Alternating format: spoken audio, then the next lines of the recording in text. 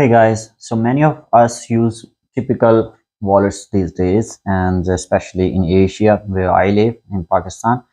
And uh, I, in fact this is my wallet. I made it custom. My, name is written here. I no longer use it but this is how usually a wallet looks like here uh, in Pakistan. And uh, it has it is spacious. You can put multiple things here.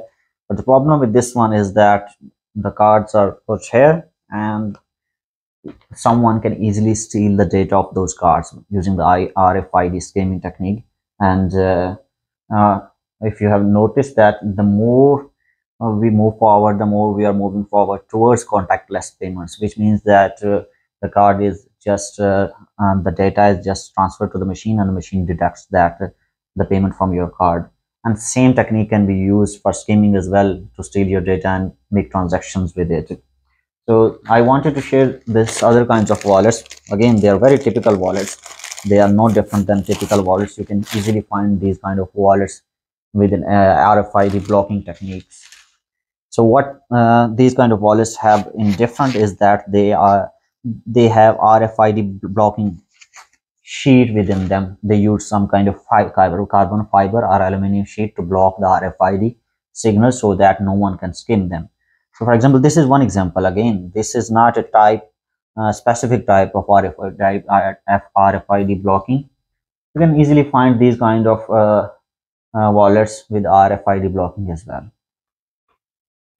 This is one example that I found. I ordered it just to show you guys. This is a typical form of a wallet. You can see here, spacious.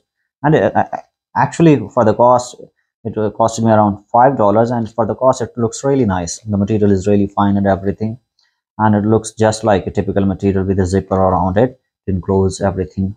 And uh, uh, it has the RFID blocking with the carbon fiber sheet.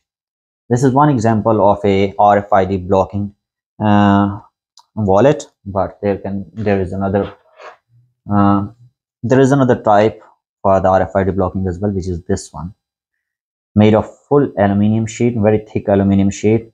It has space for cards here. You can see i have put in six cards here. You can put even one more here.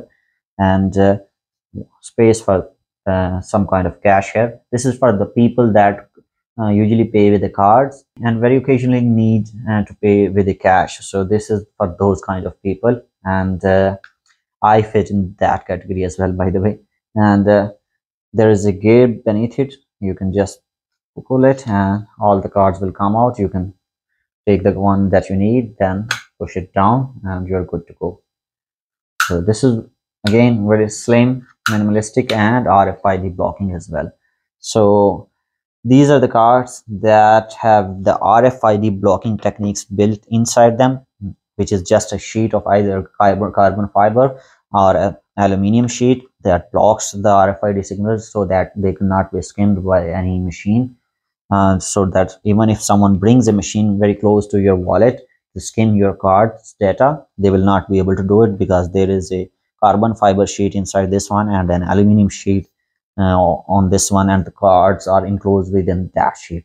So they cannot be skimmed so these are called rfid blocking wallets. You don't have to buy these exact wallets. I just wanted to share this information that prefer to use rfid blocking wallets if you do con contactless payments. If you carry cards that are used for contactless payments because that data can be stolen and then can be used to make transactions. So again they i did not find them very expensive as compared to the uh, typical ones. So if you have to buy why not just buy an rfid blocking wallet?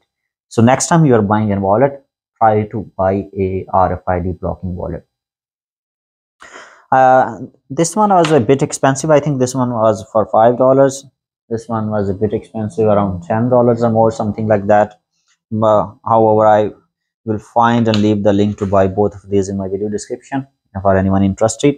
And again next time you do buy whenever you buy a wallet buy an rfid blocking wallet or anything that you buy you want to put some uh, information there on a card or something buy an rfid blocking tag a purse or a wallet that has an RFID blocking sheet in it.